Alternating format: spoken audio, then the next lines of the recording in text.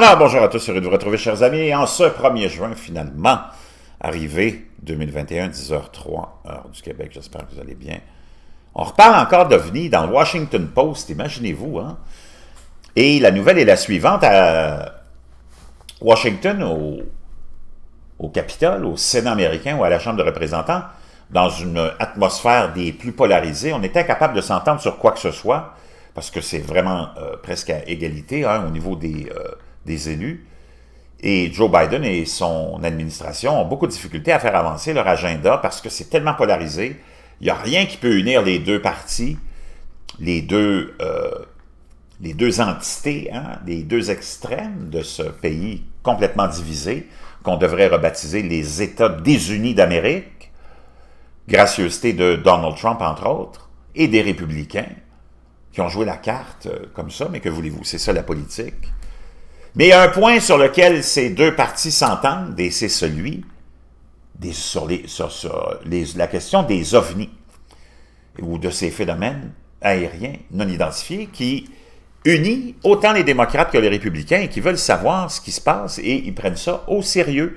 Ça nous est rapporté, ça a été publié a 10 heures seulement par le Washington Post. Le mois dernier, l'ancien directeur de la CIA, James Woosley, ou Hosley, a déclaré à Black Vault, un site web dont je vous avais parlé déjà, hein, je vous avais rapporté ses propos, qui recueille des dossiers euh, paranormaux, qu'il n'était pas aussi sceptique que je l'étais il y a quelques années, pour euh, le moins que je puisse dire à propos des ovnis, et quelque chose est en cours qui surprend une série d'avions intelligents, des pilotes expérimentés. S'adressant à 60 Minutes de CBS le mois dernier, le sénateur Marco Rubio, républicain de la Floride, a déclaré que si les ovnis peuvent encore provoquer un gloussement de la part de certains législateurs, je ne pense pas que nous puissions laisser la stigmatisation nous empêcher d'avoir une réponse à une question très fondamentale.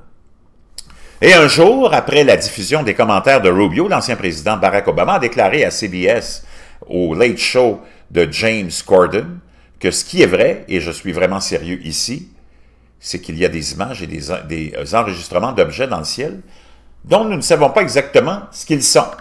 Les ovnis, également connus sous le nom de phénomènes aériens non identifiés dans le langage officiel, ont leur moment en politique, leur moment de gloire et un moment bipartisan en plus, imaginez-vous.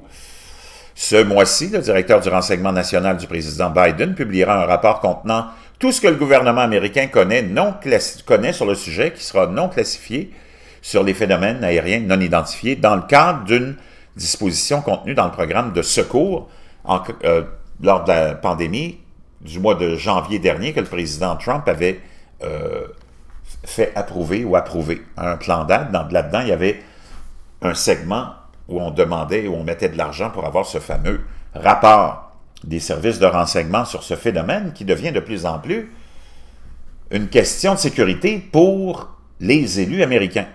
Lorsque le rapport arrivera, dès mardi, il le fera dans un moment de rare accord hein, d'unité à travers le spectre idéologique sur le fait que les euh, phénomènes aériens non identifiés méritent une étude plus approfondie.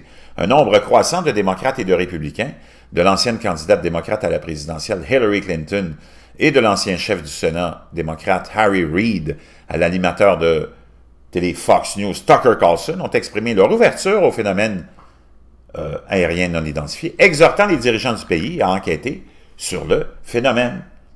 Après cette euh, dernière année, c'est plutôt agréable de voir quelque chose de bipartisan, a déclaré Robert Powell, membre du conseil exécutif de la coalition scientifique pour les études des phénomènes aériens non identifiés, un groupe de réflexion de scientifiques examinant justement ces phénomènes. Et pourquoi maintenant exactement? Parce que, a déclaré l'ancien maire de Chicago, Rahm Emanuel, qui était le chef de cabinet d'Obama, tout est inconnu, spéculatif, et il y a un peu de science-fiction qui rend tout ça intrigant. L'effort du gouvernement pour mieux comprendre ces phénomènes a commencé sérieusement en 2007 avec Harry Reid, alors le chef de majorité au Sénat, dont l'État d'origine du Nevada, naturellement, comprend la fameuse Zone 51, le site de test top secret de l'armée de l'air qui a longtemps attiré les chasseurs d'OVNI.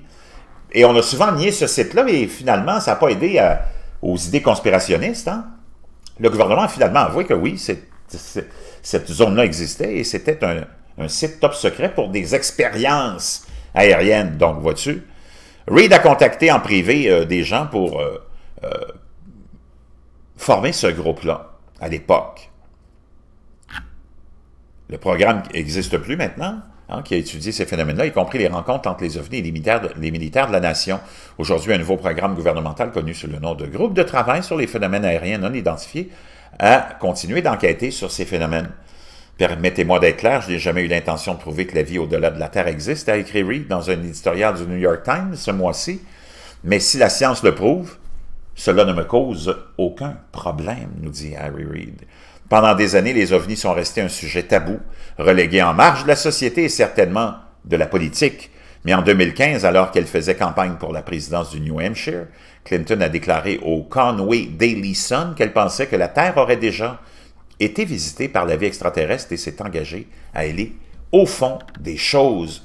L'année suivante, l'intérêt de Clinton pour le phénomène lui a valu une histoire complète dans le New York Times.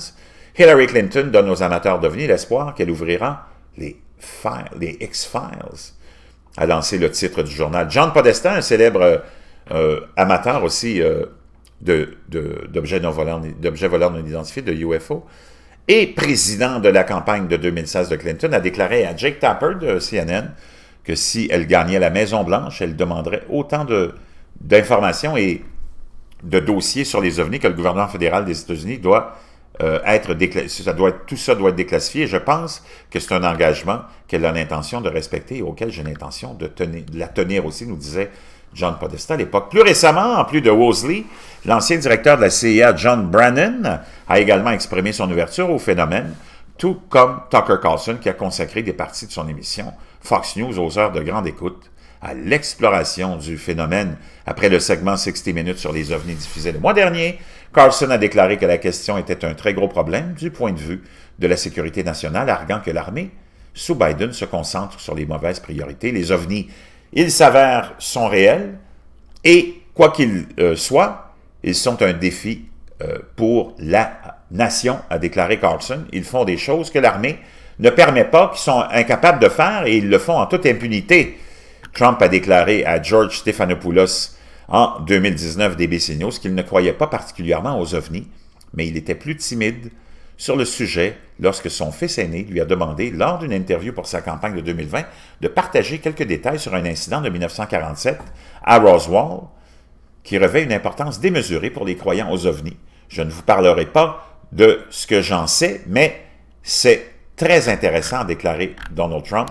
De vastes pans du pays sont divisés sur bien des, bases, hein, des sujets, comme, qui a réellement remporté, par exemple, l'élection de 2020, on n'est même pas capable de s'entendre là-dessus, alors que les deux partis politiques ne peuvent même pas s'entendre sur une définition de ce qui constitue non plus une infrastructure. Pourtant, en ce qui concerne les phénomènes aériens non identifiés, il y a un consensus bipartisan et grand public émergent selon lequel, comme euh, par exemple les X-Files l'ont popularisé, la vérité est là. Christopher Mellon, ancien responsable du renseignement au département de la Défense et à la Commission du renseignement du Sénat, qui a travaillé pour intégrer les fameux phénomènes aériens identifiés dans le discours grand public, a déclaré qu'il y avait récemment eu deux tournants majeurs, un article du New York Times, dont je vous ai déjà partagé le contenu, en 2017, dans lequel le Pentagone a admis, l'existence de son programme pour étudier les ovnis, et des entretiens publics avec des membres de l'armée parlant de leur rencontre personnelle avec des ovnis.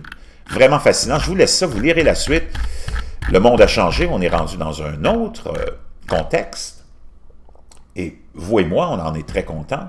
On n'est plus des, euh, euh, zigotos et des, des gens qui sont